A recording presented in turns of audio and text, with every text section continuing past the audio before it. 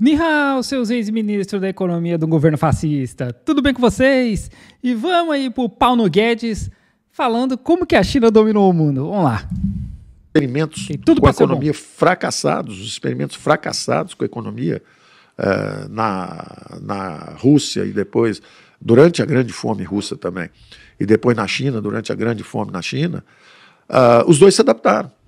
A, a Rússia botou um, um, flat tax, um imposto de renda de 15%, baixo, e entrou capital e a Rússia começou a crescer. A, a China mergulhou nos mercados globais, se desenvolveu, virou o maior trader do mundo. Você perguntar assim, qual é a nação que mais comercializa no mundo? É a China, inclusive é o maior player, inclusive com o Brasil. Entendeu? Então ela mergulhou no Adam Smith. Ela tirou o país da miséria mergulhando no Adam Smith. A China, antes da, dos colonizadores safados chegar aqui, já era uma economia do mundo. Eu não sei dizer se a China já era o país que mais comercializava no mundo, mas estava ali pau e pau com a Índia. E aí os colonizadores safados chegam aqui transformam a China num fazendão gigantesco e a China vira a nona economia mais pobre do mundo em 1949. Então, não, não, não foi ali, sabe? Não foi o Adam Smith que tirou a China da pobreza. Foi o Partido Comunista Chinês. É, direto. A riqueza das nações. Vamos comercializar com o mundo e vamos gerar emprego na China para abastecer o mundo, com tudo mais barato, porque nós temos mão de obra barata. Então nós vamos mandar tudo. Desde. Eles têm vestido encolhidinho, que você bota dentro d'água e vira vestido. Vocês têm tudo. Nossa, caras. o exemplo o exemplo, o cara era ministro da economia e o cara me falar, exemplo, não, que eles têm uns vestidinhos colhidinhos que bota na água. Meu Deus do céu, cara, a China tá exportando trem bala. A China tá exportando tecnologia, sabe? E aí eles me botam um vídeo de Hong Kong. Os caras fazem de tudo, até os semicondutores, não. tudo que precisar. Mas o mundo agora vai se reconfigurar as cadeias produtivas, exatamente pelo problema político. E eu ia te perguntar. Mais ou menos, né? Porque muita coisa ainda é produzida na China e montada no Vietnã, no México. Então, por enquanto, esse que eles chamam de desacoplamento né, do, dos países da China não está rolando, porque eles abriram fábricas em outros países e continuam comprando matéria-prima da China para montar lá não do problema político em si, que eu concordo que tem, né? A gente está vendo essa tendência do offshore ficando cada vez mais nearshore, como estou colocando, né? Tira da China, do Vietnã e bota no México, que é melhor pra gente. Ou até... Bota no México e continua comprando uma matéria-prima daqui, sabe? É, a fábrica é lá, a, a montagem é no México, porque a mão de obra do México hoje está mais barata do que a da China. E o México é só cruzar para os Estados Unidos de caminhão. Mas, de qualquer forma, continua comprando tudo aqui até no Brasil, a gente pode ser agraciado com isso também. Mas a, a minha questão é a seguinte: pegando até a China. A China fez um negócio assombroso no século XX. Eu já vi um, um, documentário falando sobre o crescimento chinês. Em três anos, usaram mais cimento do que os Estados Unidos no século XX inteiro. Sim. Então foi assombroso que os chineses Sim, conseguiram fazer lá. Por quê? Porque eles tiraram uma população gigantesca do campo para a cidade sim. e isso aumenta muito, né? Sim. Consumo, sim. produtividade.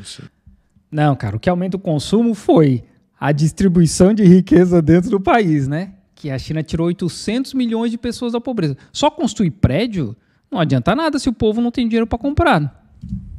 Aqui no Brasil, por exemplo, se a gente volta para 1950, a gente tinha uma população urbana de uns 20 milhões de pessoas. Se a gente vem para os dias de hoje, é 180 milhões de pessoas nas cidades, ou Isso. seja, crescimento populacional e migração do campo para a cidade. Isso.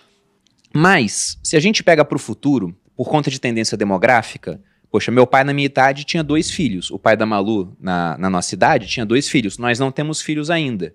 Então, o número de nascimentos está diminuindo e nós temos uma pressão populacional nas camadas é, mais velhas da sociedade porque o pessoal está vivendo mais.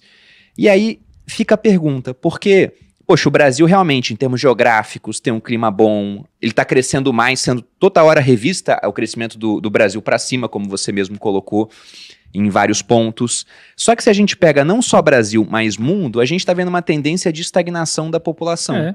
Brasil teve uma população que cresceu 70% nos últimos 30 anos, mas a previsão demográfica, e é difícil fugir de demografia, porque é raro você pegar um casal que não teve filho e falou, vamos ter seis agora.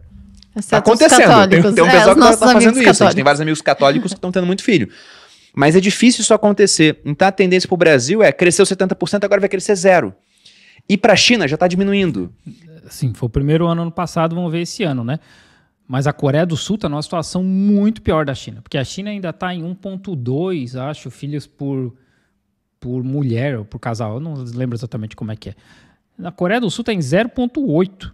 Tipo, sabe? Eles já estão numa retração absurda. E o Japão é 1,1, 1,09.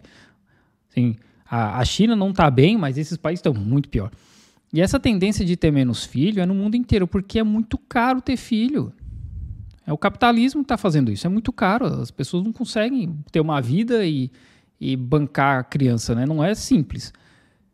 E além disso, as pessoas querem investir mais elas mesmas, em viagem, educação, principalmente aqui na China, a lei do filho único é, meio que transformou a realidade das mulheres, porque os pais, quando tinham uma filha, eles investiam na filha, na educação, carreira, e não necessariamente para ela casar e ter filho.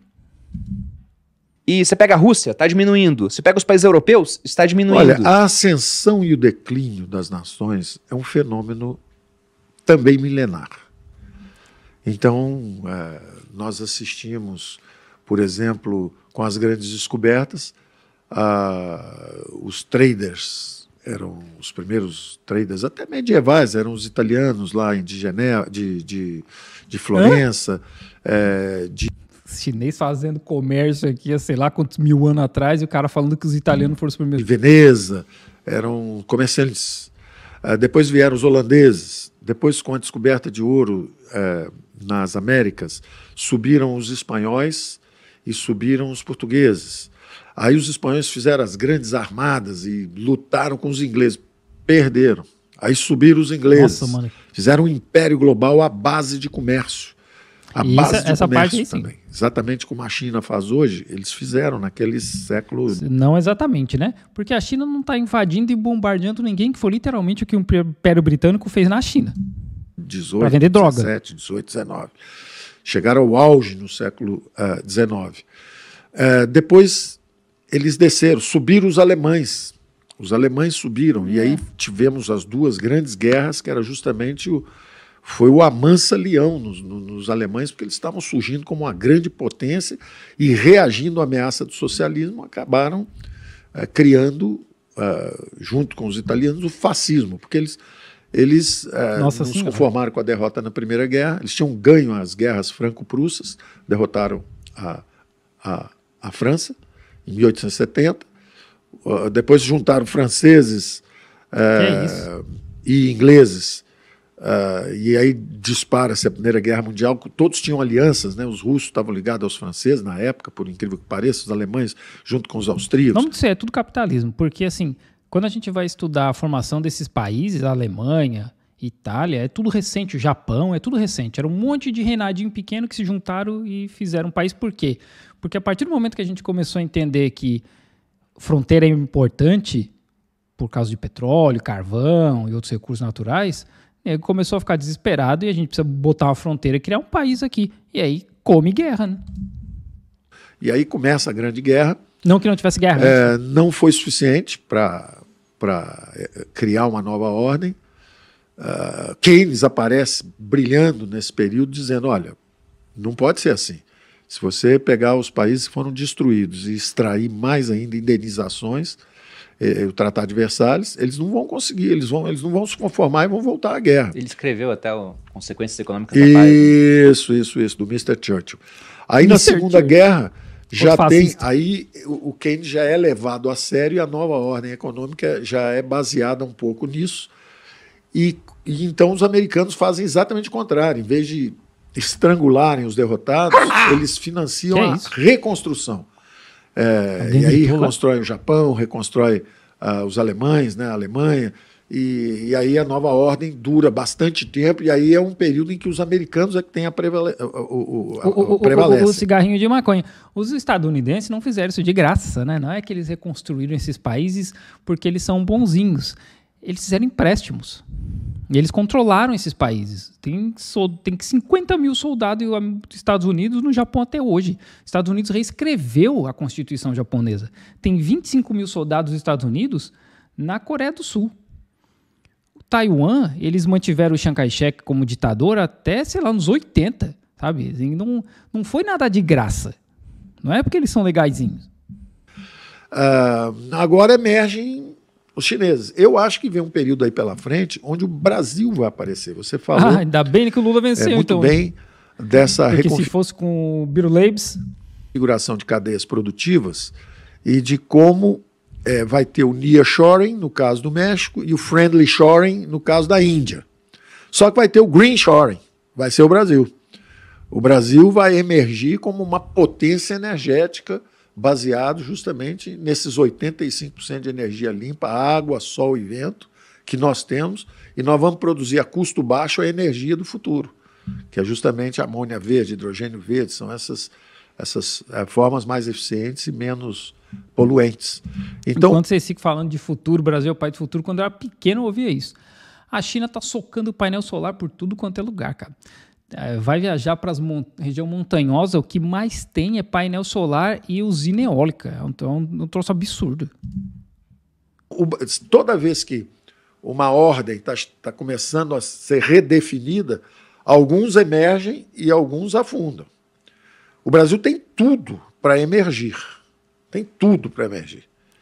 É, basta prosseguir no caminho da prosperidade. Pô, mas já não estava decolando na época? Eu lembro que na época que o Paulo, o Paulo Guedes, o Paulo Guedes era ministro, ele falou, né? Não, o Brasil decolou, tá voando. E agora vai emergir? Mudou a analogia?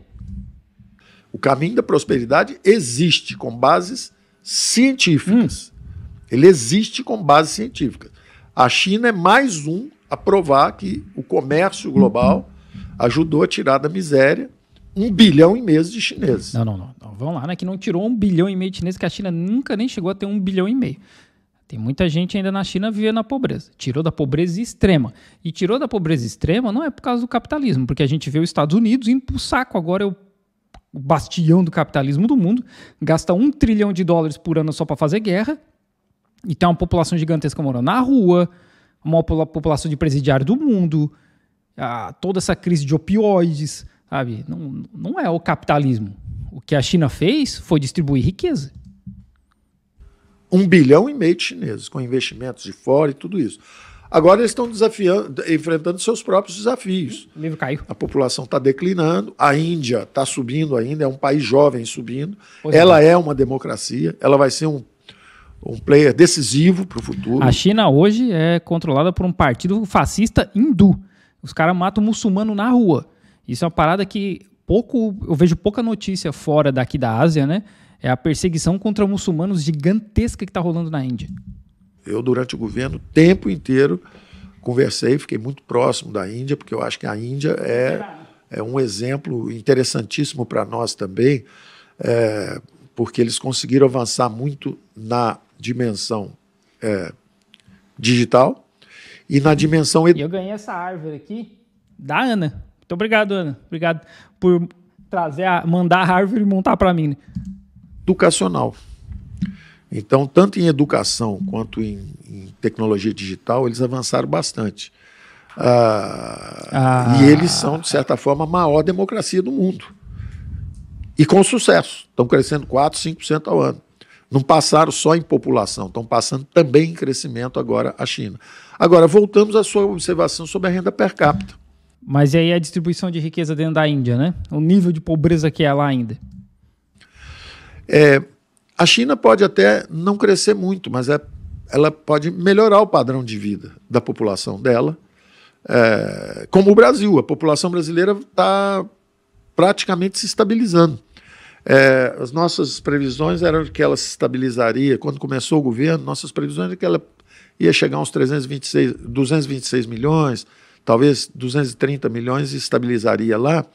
É, mas esse último censo o IBGE já registrou menos do que eu seria esperado. Esperado era 210, 200, entre 210 e 214, uma coisa assim, e vieram 206. Então a desaceleração que você apontou está acontecendo mesmo. O país cresce mais devagar, mas não quer dizer que a renda per capita tenha que crescer mais devagar. Só depende da gente. Só depende de nós. Se nós investirmos. Já é... dizia o. Pô, como é que era o nome? Criança Esperança, só depende de nós.